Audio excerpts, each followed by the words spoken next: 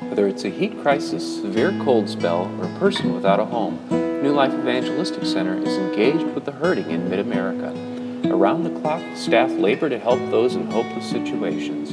In order to be able to reach out in this way, the NLEC staff find singing, praying, and worshiping God together to be essential in their labor of love. It's an age old question. If God is a loving God and He forgives sin, then maybe we should just go ahead and sin a little.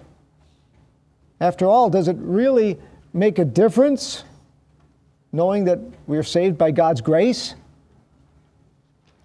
Now, I want to tell you that the Bible, Bible does address that question. And it's, it is so important that we look at these issues from God's perspective. You know, people can take a little, little bit of what they hear from the Word of God here and a little bit from over there and, and combine it together the way they want it to be and get a totally warped and, and faulty picture of, of the truth.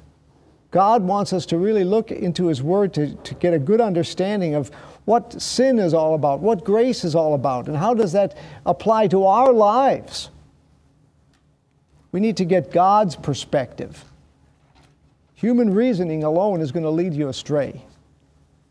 So today we're going to look into God's Word and to see what He tells us concerning sin and grace. Paul the Apostle once stated, God forbid that I should boast except in the cross of our Lord Jesus Christ, by whom the world has been crucified to me and I to the world. That's Galatians 6, verse 14. And that was Paul's personal testimony. It summed up his whole life as a follower of Jesus. And really, it is a concept that is at the heart of the entire New Testament. Let me read it again. But God forbid that I should boast, except in the cross of our Lord Jesus Christ, by whom the world has been crucified to me, and I to the world. You see, everything centers on the cross. Everything centers on the cross of Jesus Christ and that event when he was crucified, died for our sins. And if you really, if, if you try to take the cross out of the Christian faith, there is no Christian faith. The cross is essential to Christianity, along with the resurrection. But I, I want, to, want you to see how important it is that the cross is so central both in our salvation and in our daily lives as Christians. It's not just a one time thing, you know, at Easter, Good Friday, we remember the cross but the cross is central throughout our lives. Today we're going to see how important the cross of Jesus really is, and not only in the matter of getting to heaven, but also in our day to day lives. And so our passage today is from the book of Romans, Romans chapter 6. Romans is a very important book in our Bible. In it, we find the, the truths of salvation, you know, why, why we need to be saved and how we are saved and how we are to live as saved people. So, Romans 6, we're going to read the first 14 verses. What shall we say then? Shall we continue in sin that grace may abound? Certainly not. How shall we who died to sin live any longer in it? Or do you not know that as many of us as were baptized into Christ Jesus were baptized into his death? Therefore, we were buried with him through baptism into death, that just as Christ was raised from the dead by the glory of, God, of the Father, even so we also should walk in newness of life. For if we have been united together in the likeness of his death, certainly we also shall be in the likeness of his resurrection. Knowing this, that our old man was crucified with him, that the body of sin might be done away with, that we should no longer be slaves of sin. For he who has died has been freed from sin. Now, if we died with Christ, we believe that we shall also live with him, knowing that Christ, having been raised from the dead, dies no more. Death no longer has dominion over him. For the, de- the death that he died, he died to sin once for all. But the life that he lives, he lives to God. Likewise, you also reckon yourselves to be dead indeed to sin, but alive to God in Christ Jesus our Lord. Therefore, do not let sin reign in your mortal body, that you should obey it in its lusts. And do not present your members as in- instruments of unrighteousness to sin, but present yourselves to God as being alive from the dead, and your members as instruments of righteousness to God. For sin shall not have dominion over you, for you are not under the law, under law, but under grace. Amen. May the Lord bless His word today. Yes, there are, uh, there are some in the, there were some in the days of the early church, just like there are today, who felt that God is such a sweet, loving God that it doesn't make any difference how we live. the lines between sin and righteousness became blurred, and God's holiness became just a, sent- a sentimental trait. And of course, the result of that type of thinking is a very warped view of God and our relationship with Him. The idea that you, that you can just keep on sinning, it doesn't make any difference, that's called licentiousness. Have you ever heard that word, licentiousness? Because people then feel that they have a license to sin. They feel that some people have a mistaken notion that when you're saved, that gives you a license to sin. You may have also uh, heard another term that's used. This is used in the, in the field of theology. It's called antinomianism. Antinomianism comes from the, the uh, words for anti, against, and nomianism, law. So against law. It, it involves a rejection of God's law and his demands on our lives antinomianism, licentiousness, the same thing. It's the idea that if you're if you belong to God, sin sin is no longer an issue. You don't have to you can sin and it's okay. That's basically the idea of antinomianism or licentiousness. It's wrong. The opposite and equally wrong view is called legalism legalism. You can tell right there it comes from the word law, legalism. The view that by keeping the law, we gain salvation instead of through faith in the gospel. In other words, that we are saved through keeping the law, so through doing good, through obeying God, that's, that brings forth salvation for us. Those are both wrong views. And the Apostle Paul had to deal with both extremes in his day we see it in the writings of Paul. He dealt with legalism, especially in the book of Galatians, where there, there, there was spiritual pride there, and they, they thought that by keeping the Old Testament law that they could somehow earn merit before God.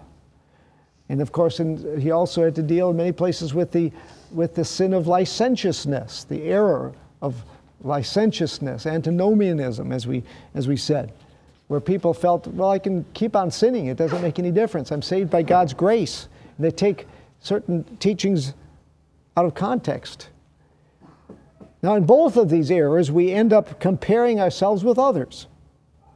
Instead of uh, comparing ourselves to the holy word of God, we start to compare ourselves to other people. The Pharisees loved to do that. They were always comparing themselves with other people. They, they made themselves look good by making other people look bad. And they love to do that. They like to, to point out how other people, these tax collectors and the, the, the uh, drunkards and prostitutes and so forth, they, they like to compare themselves with them because it made them feel good. It made them feel that they were somehow holier. But God doesn't look at it that way. God does not allow us to compare ourselves with others. On the other hand, you know, people can, we might be guilty of licentiousness, where we, where we are, are, are uh, just excusing, excusing our sin. The answer is found in the cross. We have to remember that it's our sins that brought Jesus to the cross. It's our sins that brought Jesus to the cross. And therefore, we should come in a sincere repentance. If God's Holy Spirit has really touched you, you're not going to take sin lightly. You're not going to make excuses. But there will be a desire in your heart to change. And we have to look honestly at ourselves.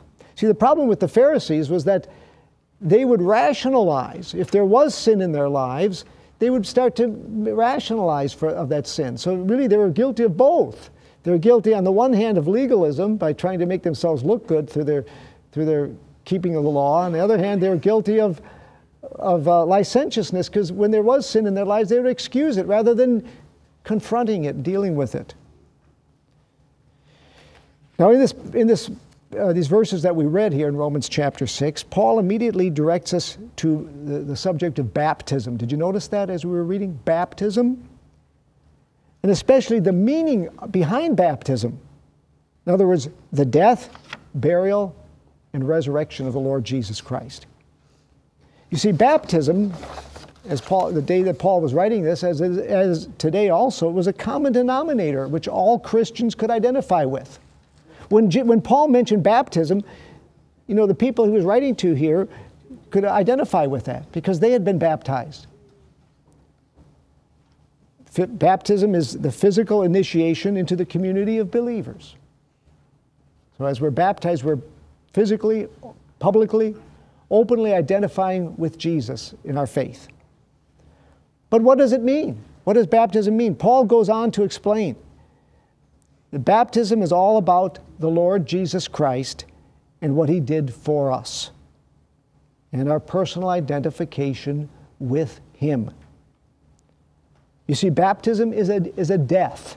It's a form of death. It's a death to sin, to the old life. But this only takes place through the power of Jesus Christ's death. Baptism is not just a ritual, but the power behind it is through the death of Jesus. That's what makes the difference. That's why Paul says in verse 3 or do, you, or do you not know that as many of us as were baptized into Christ Jesus were baptized into his death? He asks that rhetorical question there because there were people who were saying, well, if God's grace is a good thing, then the more we sin, the more God has an opportunity to show his grace. Isn't that good? So, therefore, let's sin more. Now, that's, as I mentioned before, that's a very warped way of thinking. That's not what the Bible teaches, but there are some people who, used, who tried to use logic and came up with a very false conclusion that we should sin more. But Paul reminds us here that if we've been baptized with Christ, then we also uh, we've died to Christ to the old life. In verse 4, it even states that we were ba- buried with him through baptism into death. We were buried with him through baptism into death. And verse, pr- verse 5 presents a, a rather unusual word. It says that we have been united together, united together in the likeness of his death. The original Greek word there that the apostle uses literally means to plant together. We have been united together means to plant together or to grow together. What a beautiful way to describe our relationship with Jesus. We've been planted together with Christ in his death. Have you ever thought about that? That you have been planted together with Jesus Christ in his death. You're, we are united with Christ in his death, in his resurrection. Let's read what the whole verse, uh, let's read that whole verse, uh, verse 5, and also verse 6 again. For, we, for if we have been united together in the likeness of his death, certainly we also shall be in the likeness of his resurrection, knowing this, that our old man was crucified with him, that the body of sin might be done away with, that we should no longer be slaves of sin. Now, I realize that in, in my teaching here today, I'm talking about a lot of kind of abstract things. You know, death of Jesus. I mean, it's not abstract. Jesus really did die on the cross, but it happened a long time ago. so we may think that's far removed from me. Oh, great, great, this is great things. But he's bringing it right down to where we live here when he says we should no longer be slaves of sin. A person who lives a lifestyle of sin is a slave of sin. Now, if you ask them, many people will say, I'm, not, I'm no slave. I'm no slave. I do this because I like it. I sin because it makes me feel good or whatever. But if just give it a little time, when their addiction becomes so strong they can't break it, then they start to realize, yes, it does have me hooked. It has me in bondage.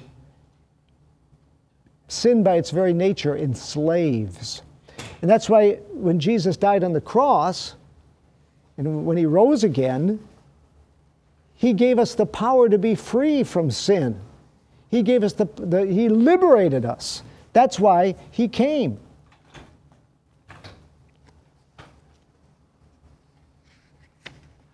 Uh, we as believers in, in Jesus unto salvation have been, and it's an accomplished fact, we've been united with him in his death, his burial, and his resurrection. And therefore, he, we are liberated from the power of sin. And that's what the Christian life is all about. Never forget these truths. They're so very important. All the psychology in the world isn't going to help you as these truths do. I'm not against psychology necessarily. I think that through psychology we can gain certain pointers and how to overcome addictions and things like that. But, uh, but if you're really going to find true liberation, at the heart of it has to be to come to know Jesus to come to know Him in His power. Because then the Spirit of God, the Holy Spirit, third person of the Trinity, comes alongside to help you and to change your life from the inside. There's power in it because it is true. The Son of God really did die for our sins. And the Son of God really rose from death. Those are historical facts that are true. And the application of those facts is still very powerful and relevant for us today if we will believe, if we'll trust Him. God's Word declares it, and you can base your life on it because you and I died and rose with Him. If you have accepted Jesus as your Lord and Savior, then you can also say, I've died with Christ, risen again with Him. Now, as we've, we've seen, the point that the Apostle Paul makes here is that we must not and we cannot just continue on in sin. The man or woman who has died with Christ hates sin. You see, sin is contrary to all that God has done for us and in us. This brings us a new freedom in our lives. As we look again at verses 6 and 7 knowing this that our old man was crucified with him that our body that the body of sin might be done away with that we should no longer be slaves of sin for he has for he who has died has been freed from sin we are no longer slaves we are set free now before we were converted we were slaves of sin it took the death of Jesus to set us free but remember Jesus did not stay dead he did not, did not, he's not dead anymore, praise God. He rose again. That's why it says in, in verse 10 For the death that he died, he died to sin once for all. But the life that he lives, he lives to God. See, his death was once for all, it was, it was a one time fact. His life now, since he's been resurrected, is ongoing and it's a life unto God. Therefore, when we really come to know Jesus, we are living unto God, not to ourselves anymore. That leads us right into verse 11. Likewise, you also reckon yourselves to be dead indeed to sin, but alive to God in Christ Jesus our Lord. Reckon. There's a command there. He says, reckon. You reckon. Reckon it. What does that mean, reckon? It, the original term there is a business term, like uh, from the world of accounting. When you reckon certain things, you're, you're figuring things on a, like in the account books.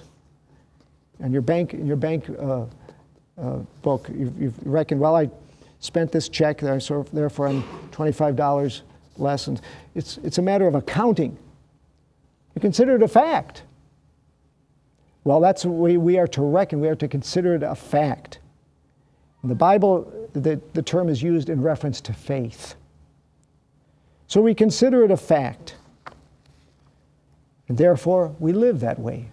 We consider it a fact that we are dead to sin and alive to God. There's two sides of it. On the one hand, one hand, we are dead to sin. On the other hand, we are alive unto God. It's an, an, entirely new orientation on life. Previously, we were alive to self and sin. That's all we knew was self, sin. And basically, we were dead to God. Now, when we are born again, it's just reversed. We're alive to God and dead to sin. And here's where faith comes in because we will not always feel like living that way. Right now, you may, you know, you're reading the scripture, it may, may sound very encouraging, but, you know, six hours from now, 24 hours from now, you might not feel that way. But remember, that's where we walk by faith and not by sight. We realize that through faith we have the power to overcome sin. Now, in all that I'm saying here today, I'm not, I don't want to give you the impression that because we've died to sin, that the old sin nature is no longer going to bother us anymore. That sin nature is still there. And as we look at the entire entirety of the New Testament, we see that the sin nature is still something to be dealt with as a Christian. It still is our enemy. Even though we've been saved, born again, filled with the Holy Ghost, and all of that, the sin nature is still an enemy to deal with. So I'm not trying to give you the, uh, the idea that we're, I'm freed from sin, just walk from here without any problems. It is a walk by faith. What I'm saying here is that through the death of Jesus Christ and his resurrection, that God gives us power, power to overcome sin. Whether we're going to use that power or not, that's a, that's a different question.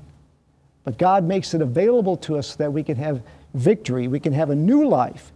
And the more we reckon ourselves to be dead to sin and alive to God, the more we're going to have success in following Jesus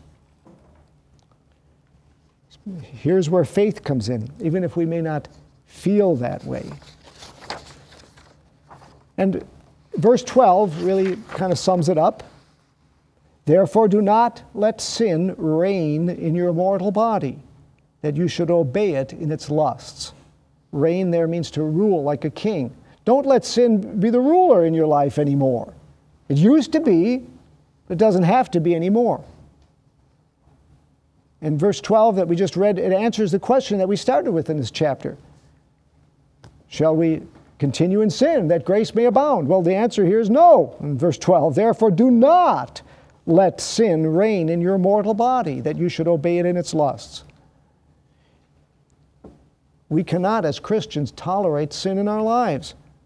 They are opposites God, the Spirit, and sin. And verse 13 gets even more specific. It says, Do not and do not present your members as instruments of unrighteousness to sin, but present yourselves to God as being alive from the dead, and your members as instruments of, of righteousness to God. Your members means your parts of your body. Don't present them anymore to sin, to be, to be used by the devil. Now, we used to maybe use our, our, our mouth to partake of alcohol, drugs, or used to use our, our veins, or our nose, whatever, to take in things that harm us. We used to use our hands to hurt other people. We used to use our feet to go places where we shouldn't be going. Now, God, God wants us to, to, to have it all turned around. We start using our hands to help other people. We use our feet to go forth and help others and let them know about the good news of Jesus. We use our mouths to speak encouraging words and to lead people to the Lord. Everything becomes turned around, becomes different. That's why it says in uh, First and Second Corinthians, if anyone is in Christ, he or she is a new creation. The old has passed away, and behold, all things have become new. I like that thought of presenting yourselves to God. Present yourselves. And before we used to present our, our members, our hands, our feet, every part of our body, our brain, as instruments of unrighteousness to sin. Now we have to present ourselves what to, to God. We're giving ourselves, we're presenting ourselves to Him, we're presenting our members as instruments of righteousness to God. I've given several examples. You know how people used to use their hands, their feet, their mouths, and everything in the wrong way. You can apply that to your own life. As we look at sin in our lives and how it used to consume us, now we are to use those same bo- that same body that God has given for His glory. Praise God. Amen. Now, as Christians, we must learn to hate sin, and we must grow in that hatred of sin.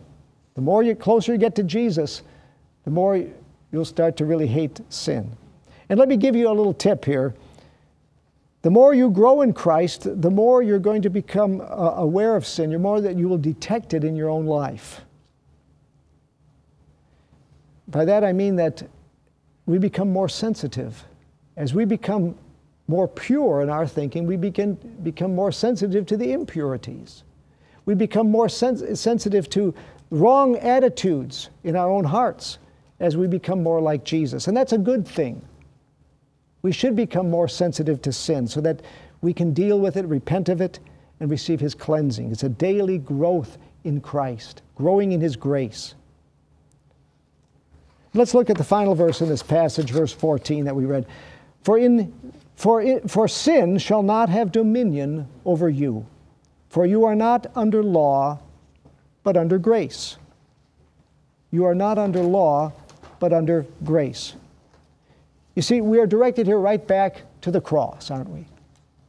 It's at the cross that our sins were dealt with. The law of God, God's holy and righteous law, was satisfied at the cross because Jesus bore our sins. It's at the cross that we are set free from the penalty of sin and also from the power of sin. As long as we are functioning under the law, so to speak, we cannot overcome sin. In other words, when we're just trying to do it in our own strength, like the Pharisees did, like, the, like Paul used to be called Saul himself. I mean, he, he could look at his own life before he came to know Christ. He, his whole life was about trying to obey God's law in, in legalism. And as long as we're trying to do it in that way, we will always fail. As long as we are functioning under the law, we cannot overcome sin. But God's grace, it's God's grace through the cross that gives us the victory over sin. So we see then that we are justified, made right with God, declared right with God through the cross, and we're also sanctified through the cross. And that's what I believe this passage shows us here very clearly. It's all centered on the cross. It's at the cross of Jesus Christ that our sins were dealt with and where we can have victory today. It's not just a one time thing. Thank, praise God for that time when you came to know Jesus. But what about every day after that for the rest of your life? It's going to be the cross. We have to look back to the cross of Jesus and the power of his resurrection. We're going to close in prayer at this time, but I want to give you an opportunity right now if, to, call, to call upon Jesus. Maybe you've never accepted him as your Savior and Lord. I invite you to pray. Let's all bow our heads right now and look to the Lord. Lord Jesus, I come to you. I need you, Lord. I recognize my sins and I want to be saved. I accept you, Lord Jesus, as my Lord and Savior. Thank you for dying for my sins. Thank you for rising again. And I give myself to you. Amen. Father, we ask you for your blessings upon each and every one here, Lord. Thank you for the liber- liberating power of the cross and the resurrection. We pray that that would be a truth that would ever change our lives until that someday when we can see Jesus face to face. We believe you and thank you, Lord. In Jesus' name we pray. Amen. Amen. God bless you.